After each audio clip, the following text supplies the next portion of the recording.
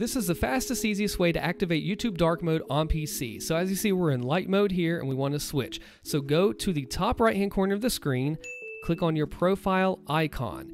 Now, when you see all this list of things here, go to about the middle of it, just under sign out, just above language English, click appearance. Now, you're probably set to light. Now, you have a few options here. You can use your device theme, which mine is dark, so it goes to that, but yours may not be. So to make sure that you have dark mode, go to the appearance and click dark theme right here. And then when you click on a video, Okay, this is it. you're going to see dark mode all around. You click on another video, dark mode all around. So this will carry through the whole entire site with you.